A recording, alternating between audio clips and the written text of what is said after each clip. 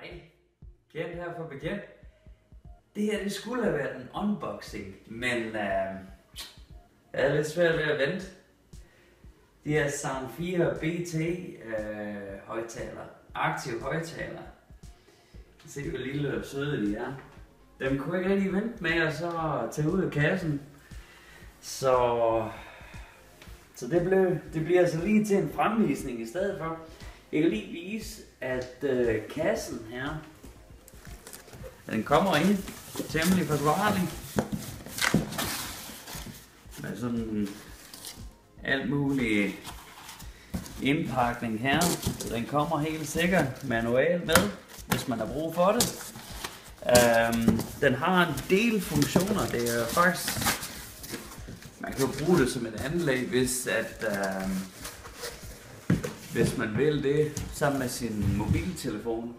Um, den kan bruges til Bluetooth, uh, og den har aptX, som uh, er fantastisk godt uh, uh, måde for Bluetooth at spille igennem. Uh, uh, den har en lavere latency, som man kalder det, uh, som virker bedre end selv AAC, som er meget, meget anerkendt, som vi kender fra Apple, og derfor så har en Apple-telefon desværre ikke aptX, men en hver øh, Android-telefon med, med, med lidt øh, kvalitet i, som Samsung, HTC og så videre, vil have aptX. Um, øhm, men det gør altså, at din Apple-telefon virker stadigvæk temmelig godt på de her højtaler her, lige så godt som alt. Øh, det med alt andet, det er bare, at man kan komme lidt videre, hvis det er, at du har en Samsung for eksempel. Så kan du få endnu bedre lyd, så kan du få en fin, fin lyd helt op til 20 kHz, hvis man er lidt af en nørd med lyd. Så, og der er rig mulighed for det med, med sådan nogle her. Det, det er rigtig hi-fi øh, højtaler, vi har med at gøre, ligesom for, Ligesom for gamle dage, kabinettet er udført i MDF-3, øh, Medium Density Fiber 3, og øh, Diskanten er en silkediskant, en toms silkediskant, og så har vi en polypropylen øh, 4 tom bas med butylgummi ophæng, og øh, begge dele har waveguide. Øh, så virkelig, virkelig god lyd. Der er gengivelse plus minus 3 dB helt ned til 45 Hz, som er helt utroligt for et højtal, der er så lille. Um, og for at kan gøre det, er det selvfølgelig nødt til at være bassrefleks ladet.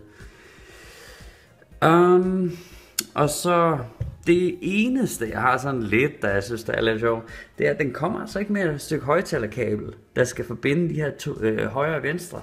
Øh, men altså, det er til at leve med. Um, så øh, terminalerne er rigtig, rigtig stærke som I kan se her, og forgyldte. Rigtig fine skrueterminaler. Og øh, du har to indgange, øh, som kan betjenes over for fjernbetjening. Jeg kan vise det nu. Men øh, så du har en AUX 1 øh, og en AUX 2, så du kan bruge både RCA input, og du kan bruge et øh, mini jack. Den har også sådan, at du kan bruge øh, DA-konverteren, der er inden i, siden der allerede er Bluetooth inde i. Så den har en optisk indgang, øh, som man også kan bruge. Og så er den sub-out. Det vil sige, hvis du får en aktiv subwoofer, jamen så kan du bare lige plukke den her i, og så virker det jo hele sammen med øh, volumenkontrollen for, for den her. Så genialt. Det er sådan lidt et primitivt setup her lige på de her to IKEA store lærer, men øh, Øh, og setup er fantastisk nemt at bruge. Lige vi kan se her på en meget, meget simpel uh, Android telefon. Øh, du går ind i dit Bluetooth setup og, øh, og bare finder det, der hedder BT speaker. Og, og så kan du forbinde den, øh, forbinde den der øh, temmelig let. Og så virker din fjernbetjening, øh, så jeg bruger UC Play her. Og øh, som I kan se, så kan du skifte nummer. Se der. Og selvfølgelig justere volumen op og ned. Og her øh, I kan se, der er jo X1 og 2.